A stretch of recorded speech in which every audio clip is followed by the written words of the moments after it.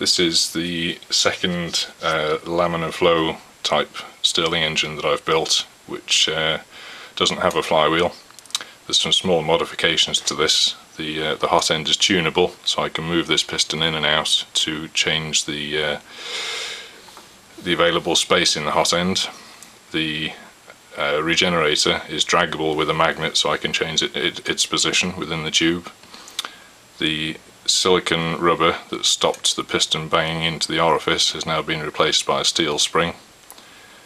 The piston is now made of aluminium instead of glass and that's now connected to some magnets which run within a coil at the end.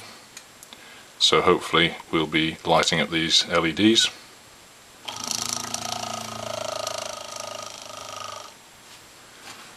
Okay. Try that again.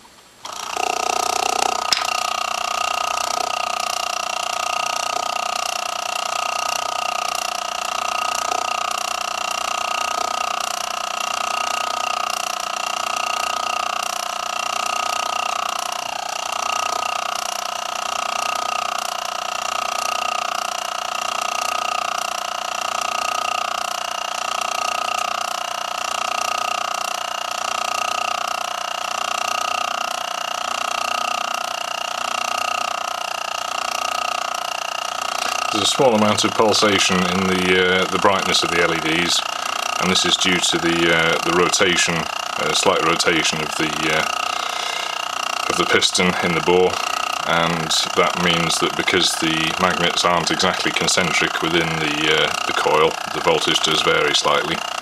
Obviously this is just a prototype engine so I'm not too worried about that. Uh, the next stage is to try and make this engine out of uh, basically one or two pieces of metal and uh, get some large cooling fins on the cold end to try and sink a lot more of the heat.